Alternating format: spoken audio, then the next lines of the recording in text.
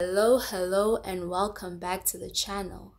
This is part two of my master's thesis journey, and this is me going to Gothenburg, Sweden. And it was my first time using Emirates, and it is such a luxury airline. Look at the stars on the ceiling as we were falling asleep in the air. This is me in the Dubai airport. So I flew from Johannesburg to Dubai and then to Stockholm and then to Gothenburg. And here I am flying over Stockholm, about to land. I was so nervous, hadn't met my supervisor yet. Uh, he picked me up and then uh, we had lunch and he dropped me off at my new home in Kullavik. Here is Kullavik. Such a nice uh, um, and fancy neighborhood. Not as fancy, the houses are not as fancy as uh, the luxury neighborhoods in South Africa, but in Swedish terms, these houses are so cool. Uh, you can tell a lot of them are smart homes. And this is CEVT, China Euro Vehicle Technology.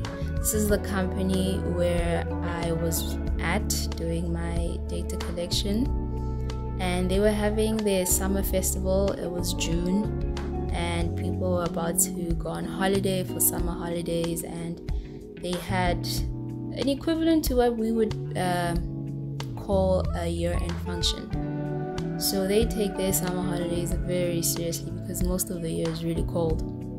So they take advantage of the heat and go on holiday. So after this uh, occasion, it was very empty in this building and the setup was really cool. It was very it was a very nice introduction uh, to the company and to the people who i would be working with and the people who would be helping me. And i really like this company. Um, if i have the opportunity i hope i work here one day.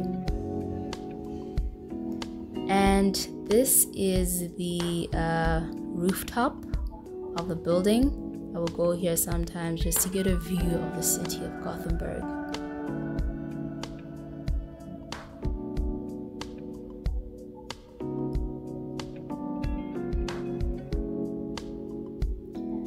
Um, I think here we were just taking a walk before after lunch.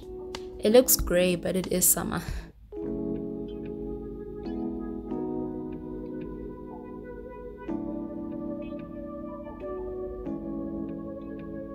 And this is the Lynk & Co 01, the car that I use to collect my data with. Uh, it's a very neat car. It's a Chinese car. It's a SUV it's a very nice family car. This particular one, I think, was a hybrid.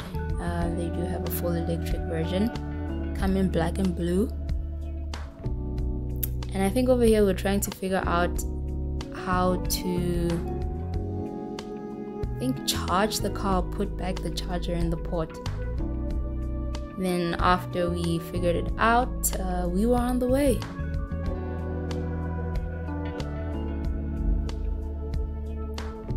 So on this particular day, we had like a team uh, outing.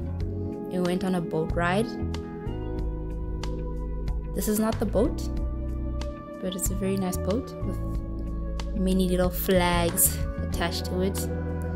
This is the boat that we use. We had a nice little breakfast buffet while we were on the boat. It was going if I'm not mistaken, we were going to the Black Sea.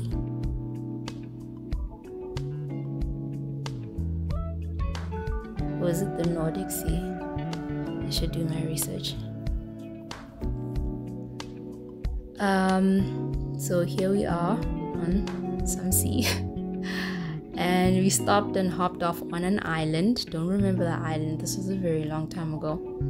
Um, think we spent about 15 minutes on the island before we went back on the boat.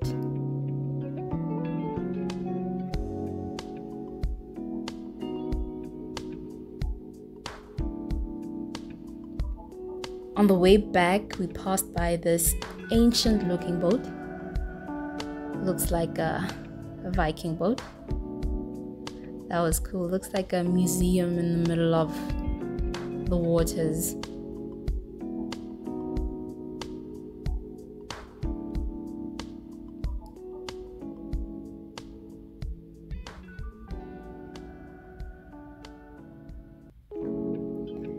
And then we went to a bar and had some pizza and had some drinks.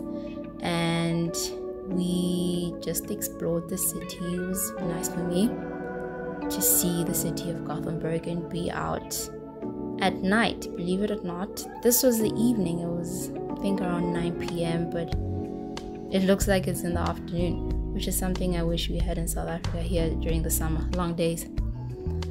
Uh, but yeah, that's the end of the vlog. A nice little introduction to Sweden, to Gothenburg. Uh, stay tuned for the next video.